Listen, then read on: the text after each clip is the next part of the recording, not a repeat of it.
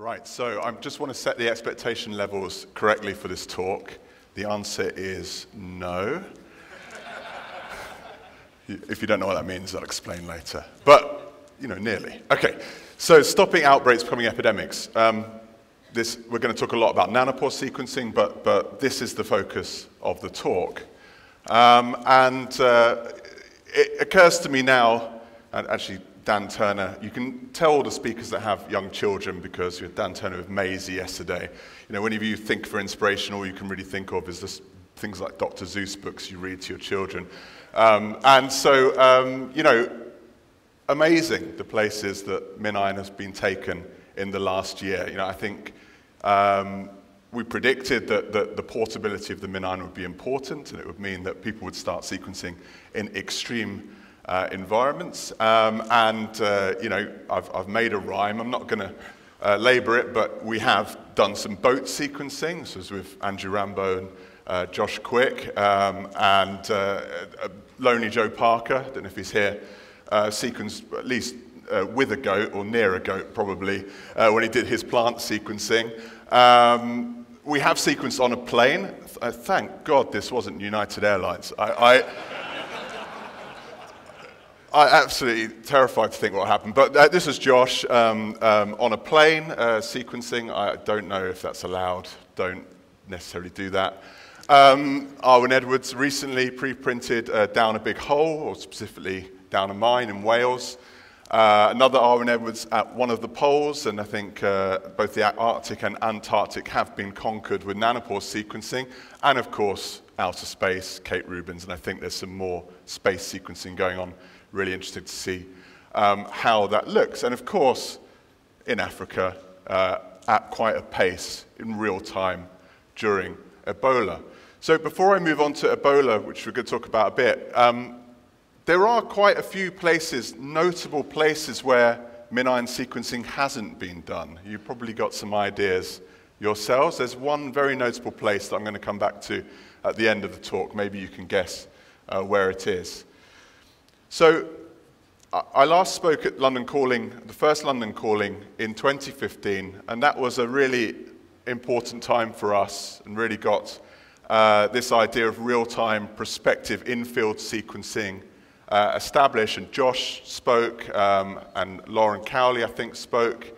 Uh, Miles Carroll spoke. Uh, no, Lauren Cowley spoke the, the year after. Miles Carroll spoke that year in 2015. And we were very excited because we had managed to do successful Ebola sequencing uh, in Guinea um, and establish that rapidly and establish uh, that ability to go from a clinical sample to a whole genome and a phylogenetic analysis in a, in a timescale of days rather than months or even years, as had been traditional in kind of real, in kind of retrospective analysis of outbreaks. And we thought that that was very, very important. And uh, just to illustrate that, it was early, early on when we presented this back in May 2015. Since then, uh, we sequenced around 160, 170 Ebola genomes, one genome per flow cell. Can you imagine that? 20 kb genome, one flow cell burning each at a time, quite a lot of flow cells. Um, but that was important because it was important to run the sequencing as soon as the sample was available because our idea was this information would only be useful if you could generate it quickly enough to feed back to the WHO, to the national coordination, to the epidemiologists, and use that information. And critically, you need, the fast time to answer, but you also need very, very good coverage of the outbreak. And so um, from May time, around 50% of the cases were sequenced, um, all of the cases um, in Guinea. And that's very, very important in terms of getting a good sampling frame so you can actually understand the chains of transmission and the connection between cases.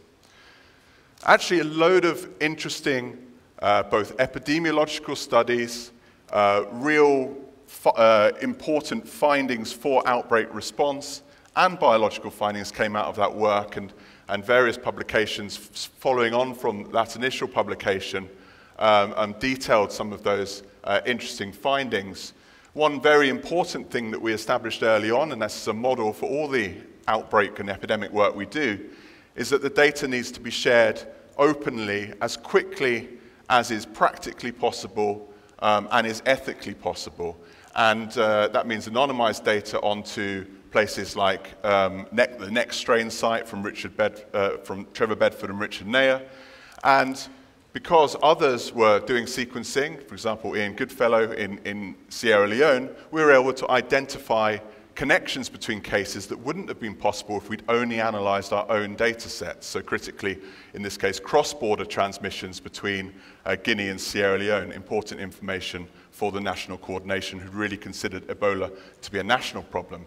We could identify very clearly links down to individual SNP level uh, um, um, between cases and between chains of transmission, such that when a new case popped up in a new uh, uh, county or prefecture in West Africa, we could say whether it was linked to known cases. And that was really important for epidemiologists who couldn't um, often identify the chain of transmission often due to you know, suspicion and distrust of the, the national coordination and the, and the uh, global response to, to the epidemic. And so that information provided uh, was very useful for providing extra information for epidemiologists. We identi- one of the notable things about Ebola, we kind of thought it was over by around September, October uh, 2015, but it wasn't. Um, there were numerous flare ups and there was a very, uh, it was a reasonably large flare-up as late as March 2016, so just last year. Um, and in that case, there was about a six-month delay since that case and any other cases. Uh, oh, and people started thinking, well, how's that happened? Is this a new introduction from an animal reservoir? What's going on? And in fact, in this case, we could use the, the MinION sequencing to identify that this was both connected to a previous case, a case over 500 days previously of a survivor, um, and uh, link it to these new cases and, in fact, to the survivor's seminal fluid, which was persistently uh, uh, uh infected uh, uh, with Ebola, resulting in transmission, resulting in flare up, and, and remarkably resulting in a cross border transmission into Liberia. And the novel biology we can find is this idea of a frozen in time phenomenon. These Ebola viruses have slow evolving uh, genotypes, uh, and that's important for understanding whether this is a hidden chain or a, uh, or a result of, of transmission for survivor. So this video is 1,600 Ebola genomes from uh, reconstructed uh, with geographical information. I'm not going to talk over it. I'm just going to show how Ebola spread from the starting point in Gwekadu in Guinea uh, across the period of, of two years.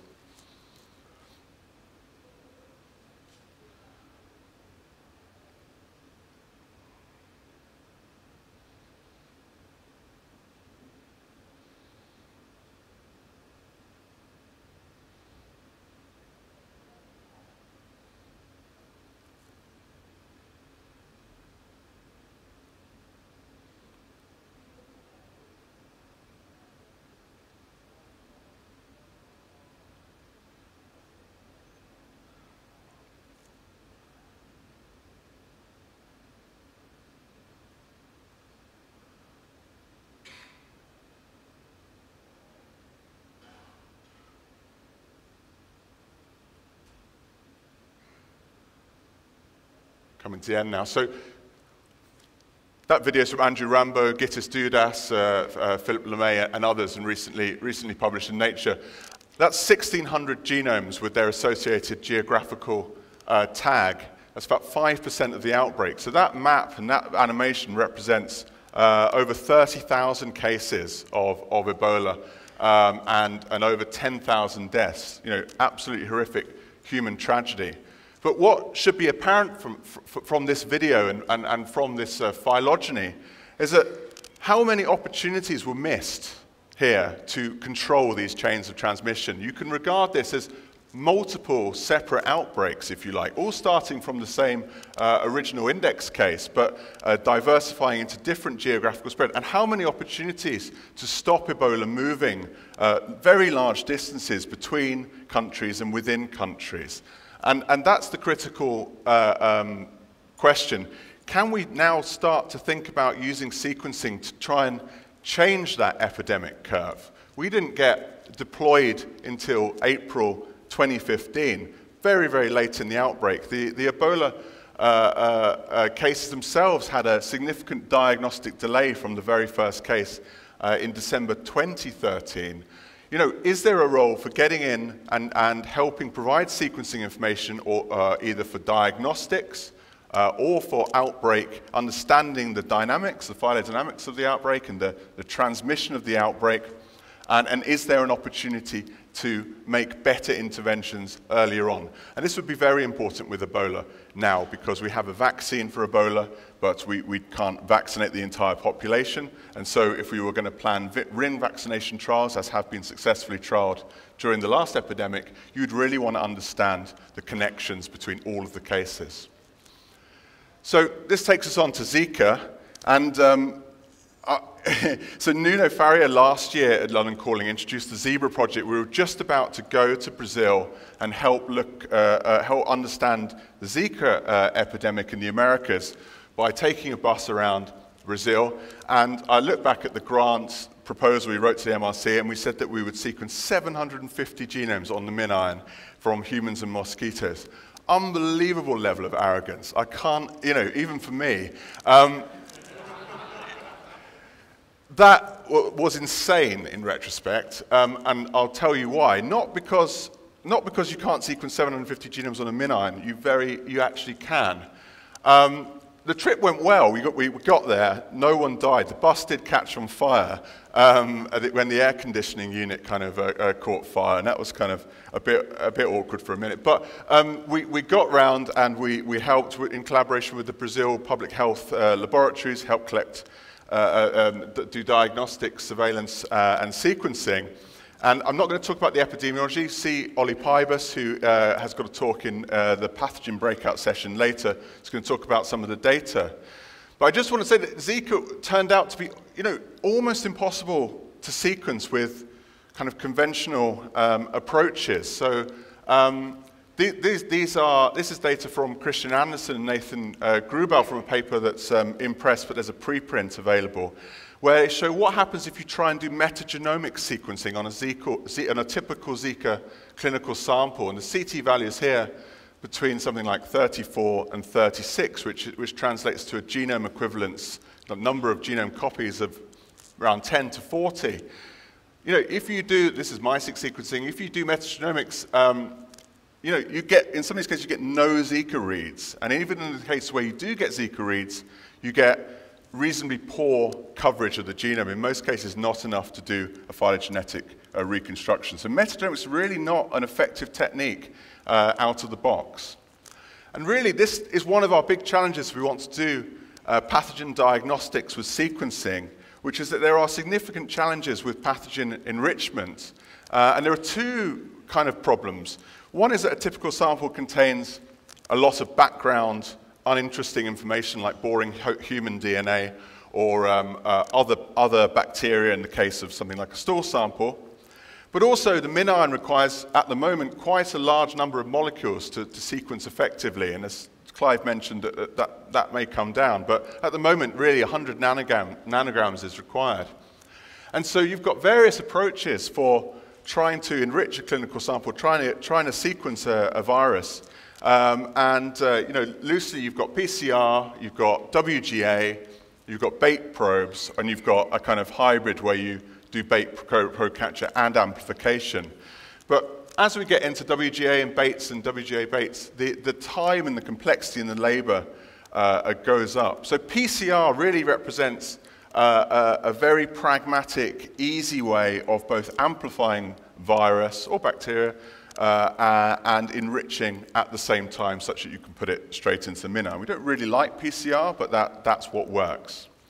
So this led uh, Josh to spend a couple of months after the zebra trip. We got some genomes, but they were low coverage and we weren't really happy with them. And we knew we'd have to go back and, and do some more sequencing. So Josh spent a couple of months in the lab trying to resolve this problem.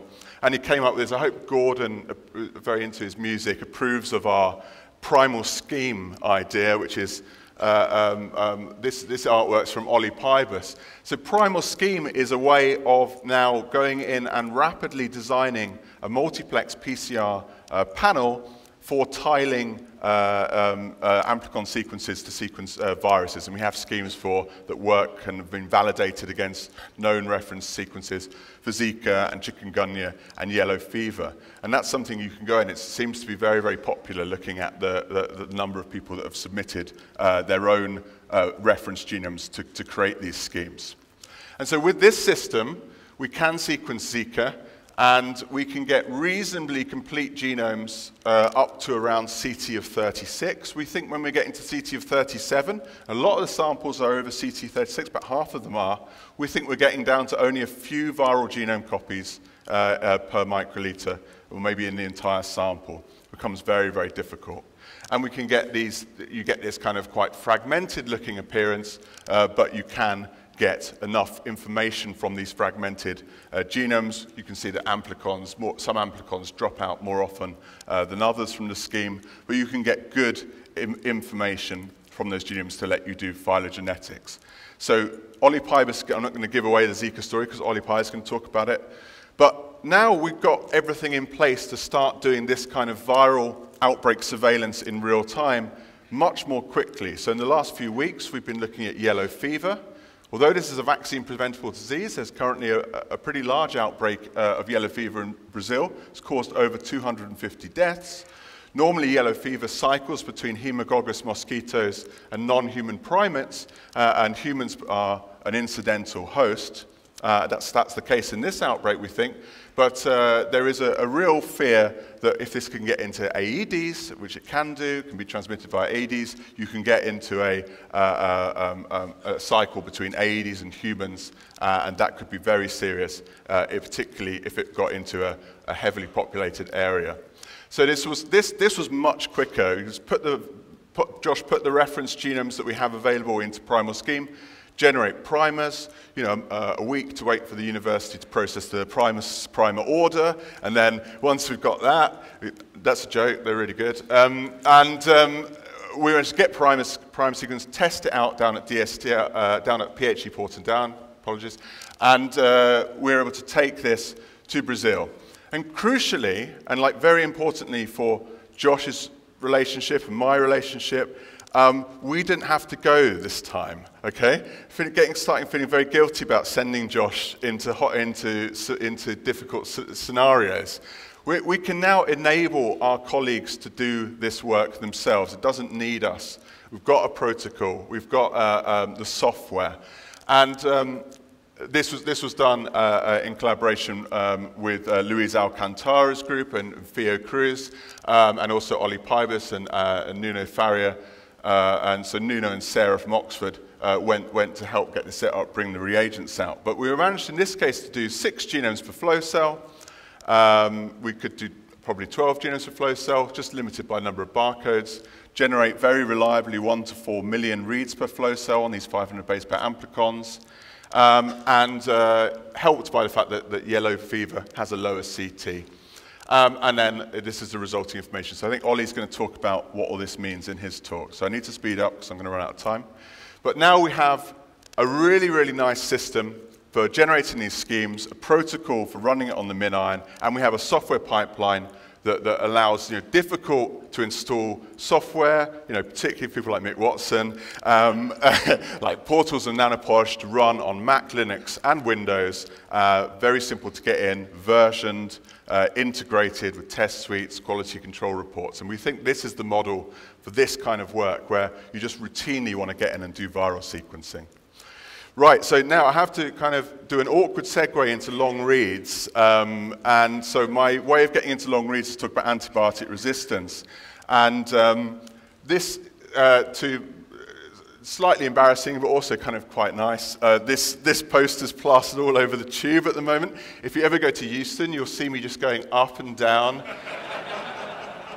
uh, the escalator. I spend about an hour a day doing that, so come and see me. No one's recognized me yet. Uh, I, I, that's what I look like in, in person. I look, we, will kind of look a bit like we've just escaped from a burning building here, uh, because we are heroes. Um, but I haven't actually done any antibiotic resistance work for a little while, to my, uh, to my great shame. But, but now we're in a situation with these higher yield MinION flow cells. Five gigs is very, very achievable. We get that a lot. um, where you can easily do things like mix a couple of isolates together, um, do a 1D rapid kit, 1D ligation kit, and pull out either single contig or one or two contig uh, assemblies and the plasmids uh, as, as whole uh, um, um, um, contigs. And that's just, that's really important for clinical microbiology because, and for antibiotic resistance, because you can think of antibiotic resistance as an epidemic or an outbreak. You can almost think of it as an, an outbreak of plasmids, an outbreak of, or an epidemic of plasmids. And we need to control these, these multi-drug resistant uh, antibiotic uh, uh um, um, uh, uh, resistance um, uh, genes in the environment because that's what's getting into our hospitals and giving us problems with hard to treat uh, uh, infections and potentially impossible to treat infections uh, in the future. So that's, the, uh, that's the, the way I segue into long reads. And this isn't the answer to my original question, but you know, someone should sequence inside a whale. That just seems like an obvious thing to do. Why has no one done that? You're not trying hard enough. But whales is also our name for these long reads, and I think Josh already talked about this in some detail, but effectively, uh, we have a mapping between the mass of a whale um, and the read length, so just replace kilograms for, for kilobases, and we're now in the kind of narwhal spotting territory. But, you know, I want a blue whale, 140 meg, like a whole big chromosome from the human genome in one go. It must be, come it must be possible. We've made, so this, that's why the answer to the original question was no. We haven't yet got a megabase read, despite absolute superhuman effort from Josh over the last couple of days. But we're getting bloody close, okay? Uh, and we've had a flow cell running outside, and I've been periodically checking it throughout the conference. What, So I'm not going to go into details about this method because Joshua talks about it. The protocol's online. There's stuff on my blog about it. There's also stuff in the Human Genome preprint uh, about how we did this. But I will just say a recent improvement in the last uh, few days is to move from just taking a lot of very high molecular weight phenylchloroform purified DNA and putting it into the rapid kit in great abundance to a system where we're extracting the E. coli cells in an agarose plug uh, and then uh, using that to try and maintain the whole chromosomes and then into the RAD kit. And you can see there's a great improvement on our previous E. e. coli results, the N50, read N50 up to 128 kb. To put this into perspective, we can get across the whole E. coli genome now in seven reads. Seven reads not, it's all right, isn't it? It's okay. It's not really, I'm not very happy with it, but seven reads is quite good. I, I, Antonio, when he talked about the E. coli yesterday, he said that everyone get really upset about the original E. coli project. It cost like seven million dollars and took however many years. Like, you can do it in seven reads in probably, what, well, takes, it takes quite a long time actually for these long reads to go through. It can take over an hour for one of these reads to go through the pore. So, it's kind of slow actually. Someone should work on that. Anyway, the longest read that we've got on here, this prep is 886. Frustratingly close. We had one that was longer, 911. But this wasn't a real reading. It was actually one of these naturally occurring 1D squared reads where you, where you get the template and the complement. You haven't, hadn't used the 1D squared kit. It's just that idea that, you, that, the, the complement follows through. And so this, to me, is really exciting.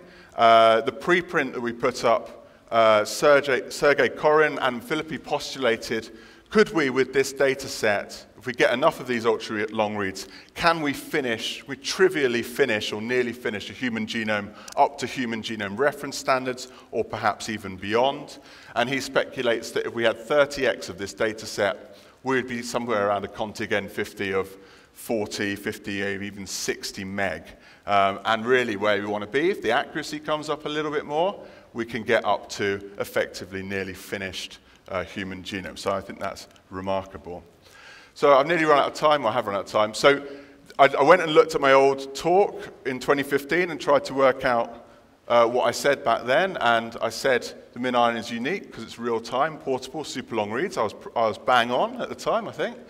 And I asked for fast mode, more pores. We got fast mode in the, in the end diagnostic environmental metagenomics is now possible. Those ultra reads will do an incredible job on metagenomes, I'm absolutely sure of it. People need to start trying that uh, uh, now.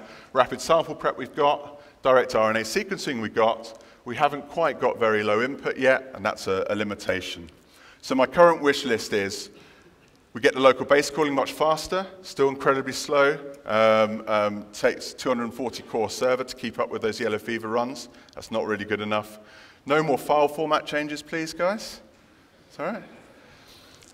Um, we really want those lower cost, lower throughput flow cells, um, such as the SMIDGE and Flongle uh, concept, and we need the ultra low sensitivity, we need the high sensitivity, ultra low input. Excited about maybe dumping PCR for this Cas9 idea. But the answer to my question is where haven't we done any sequencing yet? It's unbelievable because we've done the Ebola work in Africa and we've done the Zika work in Brazil, yellow fever.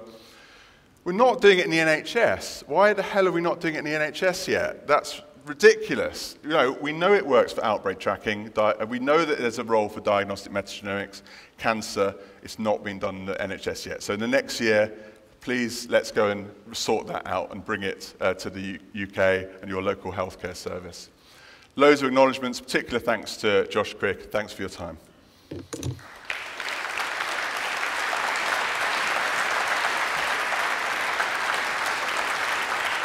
I think, thank you, Nick. I think we have time just for one or two questions. Anyone have any questions?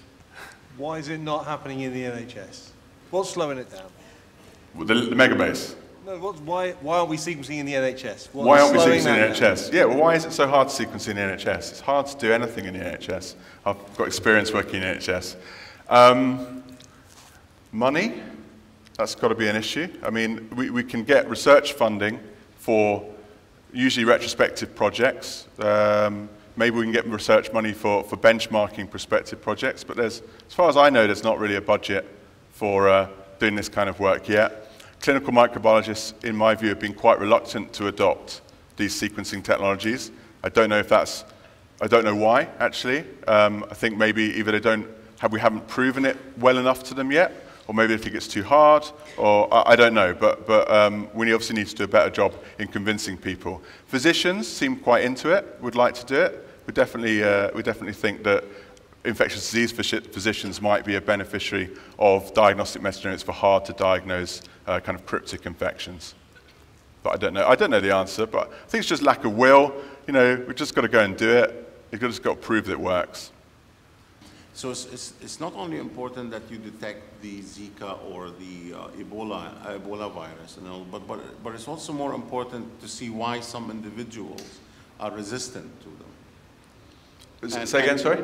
Some individuals are resistant to the oh, yeah. Uh, and, and, and then you can hit two, two birds with one stone.